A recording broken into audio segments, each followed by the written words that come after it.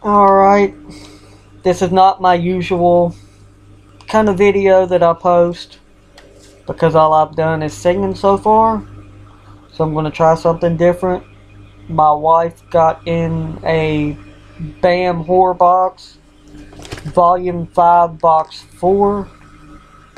And I've already opened it and looked in it, so I'm just doing this video for the hell of it. And of course, first thing you get is this black tissue paper that I'm going to ball up and throw at my wife.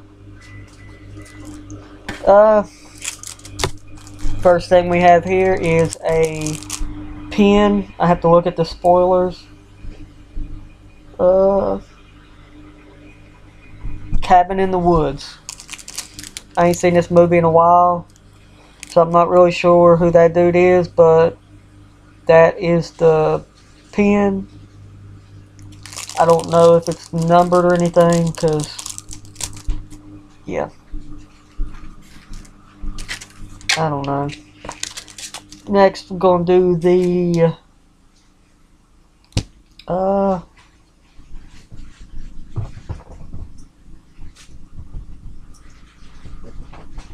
well, on the spoiler, this isn't on here. So, I don't know. We got the Crow, I guess, art print. Like I said, it's not on the, well, I'll show you the spoilers after have another fan art print of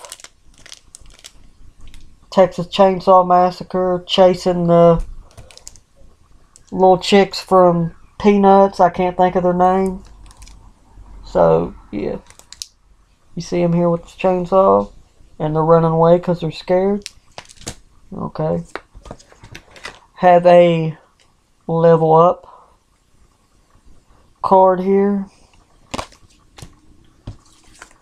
which would be this Michael Myers card. We'll take it out so you can see the the foil number 93 of 100. Put that back in there.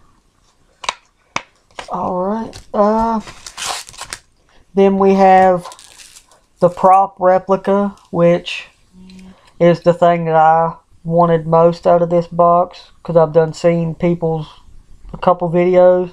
A King County Sheriff badge, which if you watch The Walking Dead, you will recognize this. We also got the autograph which is the last thing in the box. I'm trying to keep this short. And you will recognize, I guess you can recognize it, as the governor's daughter, zombie daughter. I can't pronounce her real name, the last name. It's Kylie Szymanski. I'm probably saying that wrong, but oh well. I can't pronounce that. But yeah, getting back to the crow, if you can see that, which I doubt you can, but you can see by the pictures, it's not on there, so who knows. But this is my first unboxing video. If you enjoyed, like, subscribe, comment. I'll probably do more once I get stuff in the mail. But anyways, thanks for watching.